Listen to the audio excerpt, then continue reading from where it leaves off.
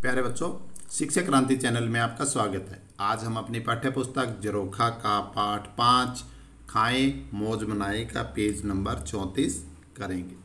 तो देखिए बच्चों, पेज नंबर चौंतीस में सोचो, छांटो और लिखो। तो बच्चों, इस वीडियो को आप शुरू से लेकर अंत तक ज़रूर देखना ताकि पेज नंबर चौंतीस में जो दिया है, वो आपको अच्छी तरह समझ में आ जाए। और अगर आपको मेरी वीडियो अच्छी लगे तो इस वीडियो को लाइक करना, शेयर करना और अगर आप मेरे चैनल पे पहली बार आए हैं तो मेरे चैनल शिक्षा क्रांति को ज़रूर सब्सक्राइब करना। तो चलो बच्चों, शुरू करते हैं पेज नंबर चौंतीस। सोचो, छांटो और लिखो। पहले हमें सोचना है, नीचे कुछ शब्द दिए, उनमें से छांटना है और फिर आगे लिखना है। नीचे दी गई सूची में पेड़ पौधों से मिलने वाली चीज़ों के चारों ओर हरे रंग से और पशुओं से मिलने वाली चीज़ों के चारों ओर लाल रंग से गोला बनाओ। खाली स्थानों पर खाने की कुछ और चीज़ों के नाम भी लिखो, उन पर भी गोला लगाओ। तो नीचे हमें कुछ वस्तुओं के नाम दिए हुए हैं, जो कुछ हमें पशुओं से मिलती है और कुछ पेड़ पौधों से मिलती है।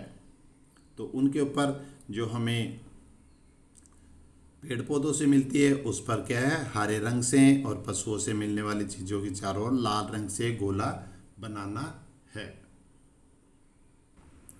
तो देखिए, पहले हम जो पेड़ पौधों से मिलने वाली चीज़ें हैं, उनके ऊपर हम हरे रंग से गोला बनाते हैं।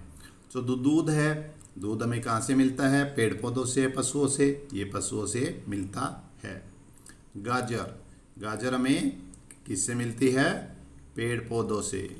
उसके बाद चीनी। चीनी किससे भी बनती है? गन्ने से। और गन्ना क्या होता है? पेड़ पौधों की श्रेणी में आता है। तो चीनी भी हमें पेड़ पौधों से मिलती है। पनीर। पनीर किससे बनता है? दूध से। और दूध हमें किससे मिलता है? पशुओं से। तो ये पेड़ पौधों में नहीं आएगा। अंडे। अंडे हमें मुर्गी से मिलते हैं। तो वो पेड़ पौधों में नहीं आता। रोटी। हाँ देखिए रोटी, बच्चों, रोटी किससे बनती है? आटे से। और आटा किससे बनता है? अनाज से। और अनाज किससे निकलता है? कहाँ से मिलता है? पेड़ पौधों से। तो रोटी है, वो भी हमें पेड़ पौधों से मिलती है। उसके बाद ऊपर है शहद। शहद कहाँ से मिलता है हमें? हम्म? शहद कहाँ से मिलता है? शहद मधुमक्खियों से मिलता है। और मधुमक्खियाँ कहाँ से लेके आती है? वो फूलों से लेके आती है और फूल किसके होते हैं? वो पेड़ पौधों के होते हैं। तो शहद भी हमें पेड़ पौधों के जो फूल होते हैं वहाँ से मिलता है। पालक पालक सब्ज़ी है तो ये भी पेड़ पौधों से मिलती है। मांस, मछली तो यहाँ पे तो नाम दिया हुआ है कि मांस और मछली ये पेड़ पौधे नहीं होते। भुट्टा तो भुट्टा किसको बोलते हैं? मक्की को। मक्की कहाँ से मिलती है हमें? भुट्टा कहाँ से मिलता है? मक्की के पौधे से। सेब। सेब के पौधे से हमें सेब मिलता है। दलिया। दलिया किस चीज़ से बनता है? गेहूँ से। तो गेहूँ कहाँ से मिलता है? पेड़ पौधों से।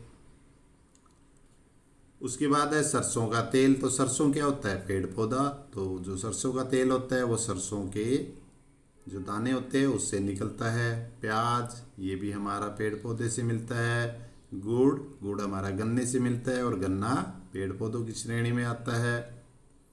पपीता पपीता फल है जो एक पपीते के पौधे पर लगता है। मूंगफली, ये भी पेड़ पौधे से मिलती है हमें। और लस्सी लस्सी किससे बनती है बच्चों? लस्सी बनती है दूध से और दूध कहाँ किससे मिलता है? पशुओं से। तो लस्सी हमारी पेड़ पौधों से नहीं मिलती। अब जो बाकी जो शब्द बचे हैं, दूध, ये हमें कहाँ से मिलता है? पशुओं से। पनीर, ये दूध से बनता है और दूध पशुओं से मिलता है। अंडे, ये जानवरों से मिलते हैं। मांस, मछली, ये भी जानवरों से मिलता है। उसके बाद लस्सी, ये दूध से बनता है और दूध पशुओं से मिलता है। यहाँ पे कुछ और हमें लिखना है और उन पर भी गोल दायरे लगाना है। तो और जैसे आलू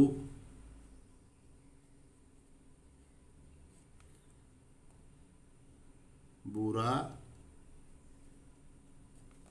खांड ब्रेड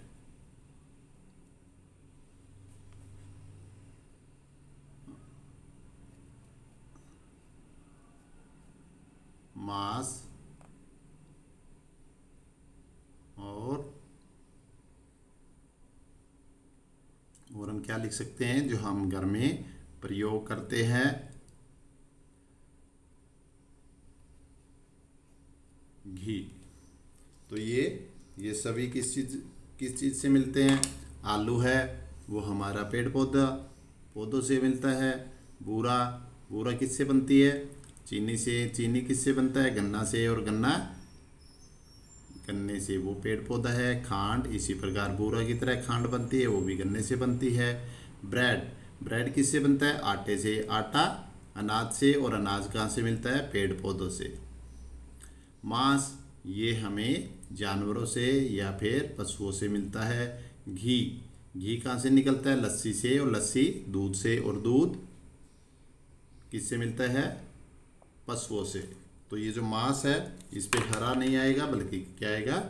लाल, क्योंकि हमें पशुओं से मिलने वाले चीज़ों को लाल रंग से करना है, और घी, ये भी पशुओं से मिलता है। तो ये दोनों क्या होंगे? पशुओं से, बाकी क्या है?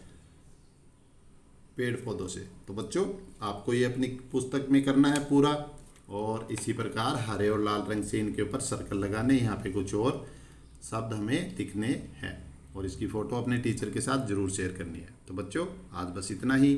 Bye bye